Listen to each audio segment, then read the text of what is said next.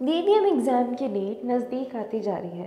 तो आज हम वी एग्ज़ाम से रिलेटेड पढ़ेंगे achievements of India welcome to science pedagogics science made easier and our today's topic is latest achievements of India in science before proceeding I would like to thank you for your efforts and don't like share and subscribe our channel because your support does matters to us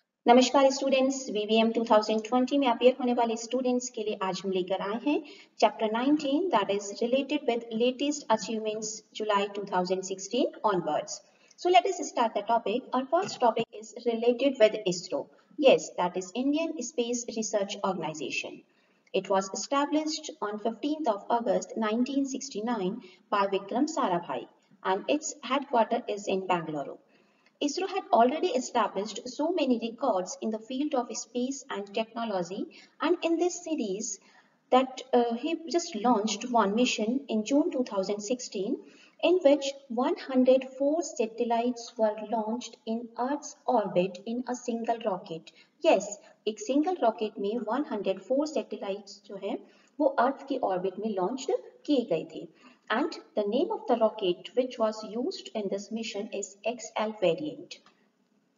All the rock means the, that rocket with all satellites were launched from Sriharikota of Andhra Pradesh. अब इन satellites में से 100 satellites तो ऐसे थे जो foreign made थे and 3 satellites were belongs to India. And name of the Indian satellites are PSLV-37, Cartosat and Cartosat 2 and which included the primary satellites and 101 international nanosatellites. In this series, the previous record was named by Russia, okay, and uh, Russia has launched 37 rocket satellites in a single mission in 2014. EC series made June 2018 May, ISRO had also put 10 satellites into Earth's orbit on the PSLV C10. So ISRO जो है continuous space technology science के field में हमारे scientist continuous बहुत सारे records establish किए जा रहे हैं। And this is only one of the smallest mission that was held by ISRO now the next is related with drones yes that ISRO drones are developed to help them the disaster prone areas in north eastern part of the country ISRO ने north eastern part of the country के लिए disaster management के लिए space technology use करते हुए particularly map designing करना start किया है and the ISRO also received success in this mission actually basically north east space application centre establish किया गया है, जो unnamed aerial vehicles these are the name of the devices use करते हुए disaster prone areas and physically inaccessible areas में, जितने भी natural disasters हो सकते हैं या जो अपकमिंग नेचुरल डिजास्टर्स हैं, उनका एक सर्वे करता है and it can undertake quick damage assessment also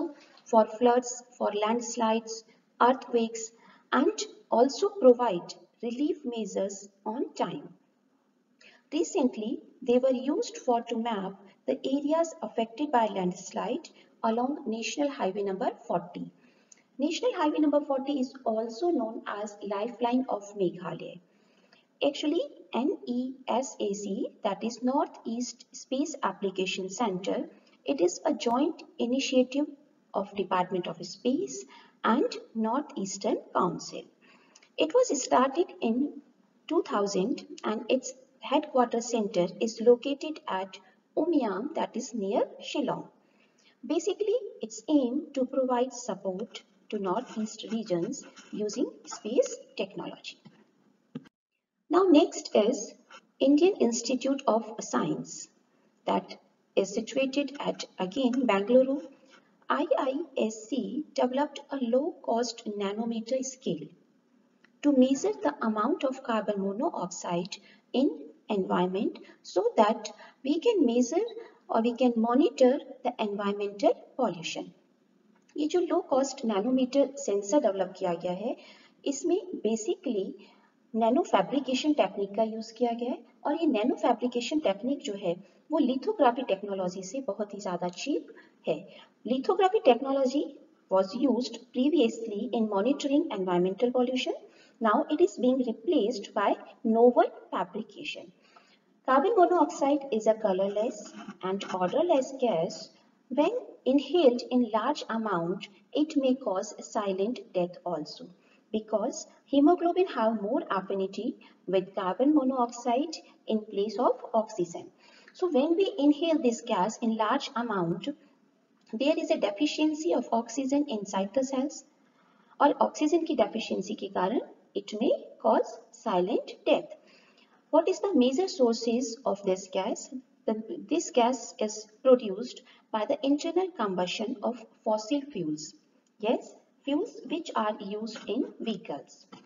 What is novel fabrication techniques? So, let us, we will discuss about this technique.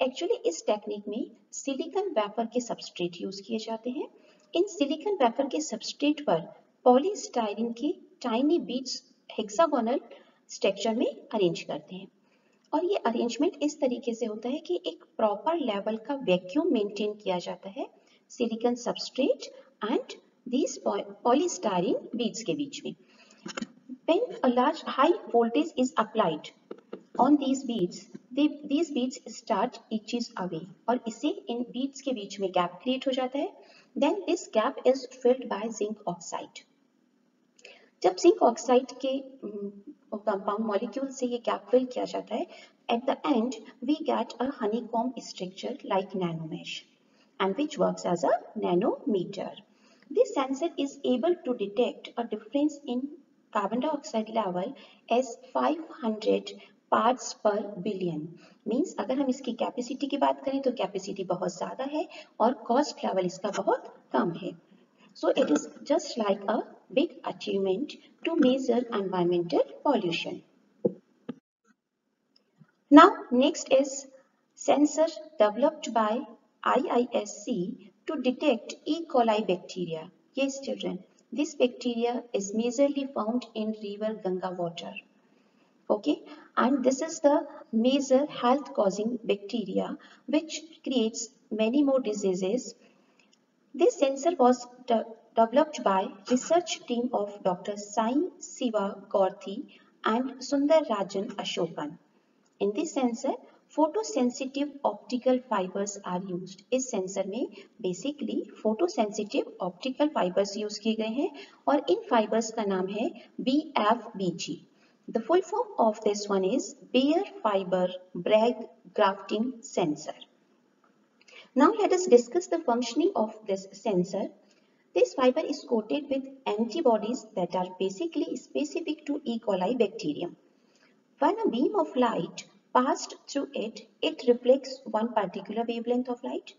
Okay, and when this sensor exposed to sample, means sample of water in which E. coli bacteria are present, then they bind to this sensor it means अगर इस sensor को उस पानी में रखा जाए जहाँ पर ई कोलाई बैक्टीरिया प्रेजेंट है तो वो बैक्टीरिया जो है इस सेंसर को बाइंड कर देते हैं सेंसर पे बाइंड हो जाते हैं और wavelength that was reflected by this sensor it changes so by recording the changes of the reflected ray we are able to detect the amount of bacteria present in that sample of water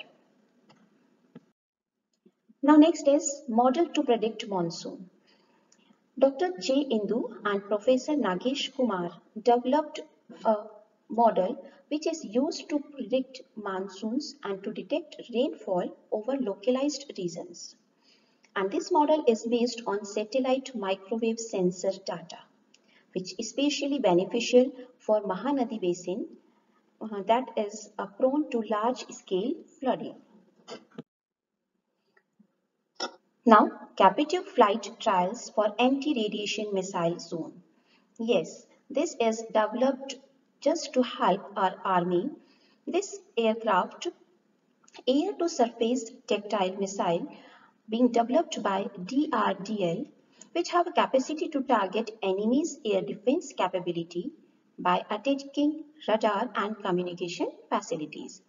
The range of this missile is 100 to 125 kilometers and it will be mounted on a combat aircraft that is Sukhoi 30, Su-30 and Tejas light aircraft.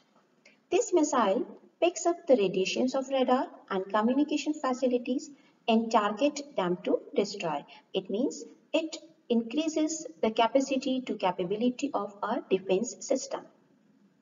In this system, basically dual pulse propulsion system is used. Means in these missiles, DPPS system is used and previously only this system was present in US and Germany means only United States of America and Germany have arms at present that is anti-radiation missile. Dual pulse propulsion system could be configured with our air to surface as well as air to air missiles. It means this system can be used air to surface, surface to air, air to air missiles. Long-range surface-to-air missiles jointly developed by India and Israel and it was successfully test-fired from Kolkata. Full form of DRDO Defense Research and Development Organization whereas DRDL stands for Defense Research and Development Laboratory two new species of cycas that was discovered by Acharya Jagdish Chandra Bose Botanical Garden that is situated in West Bengal and it has revealed these two new species. The name of these two species are Cycas cana and Cycas dharamji. Cycas cana, it has two lateral horn-like structures in megaspores whereas Cycas dharamji is characterized by abnormal branching habit. Previously in India, the total number of cycas species was 14 and these are also known as living fossils. Cycas evolved as a first seeded plant. And cycas are one of the most ancient plants whose fossils date to Jurassic period also. Now what is sporophyll? Sporophylls are spore-bearing leaf-like female sex organs of this plant and 65% of cycas are threatened and over 100 species of cycas are found across the globe. So these two species have been revealed by Acharya Jagdish Chandra Bose Botanical Garden. In this topic children, you need to remember, you need to learn the name of these two species. What do you mean by living, uh, what is uh, known as living fossils and uh, which one was first evolved as a seeded plant then the fossils date of cycas that resemble to Jurassic periods. So these are some of the small, small questions which can be formed on this topic. And the last topic of this achievement is that Reliance Jio launches world's longest 100 Gbps submarine cable system. Yes, children, that Reliance Jio Infocomm has launched Asia, Africa, Europe means it includes three continents submarine cable system. The length of this system is 25,000 kilometers from Marseille, France, France and Hong Kong and it will have 21 cable landings across Asia and Europe. Actually, it is a joint project of telecom service providers from Europe and the Middle East, Asia, and it will feature diversified points of presence in Asia that centers are situated Hong Kong and Singapore and in Europe the three onwards connectivity in France, Italy and Greece. This cable system supports all types of communications applications within the India and beyond and its operation center is situated in Navi Mumbai. So these are a few scientists and few uh, achievements that are done or that are achieved by our Indian scientists. In our next video, we will discuss some more achievements. I hope that this lecture would be helpful in the preparation of your exam. So, have a nice day and all the best for your upcoming exams. Thank you for watching. Please like, share and subscribe. And इस chapter से related और videos आपकी screen पे shown है and please keep updated yourself about our further videos.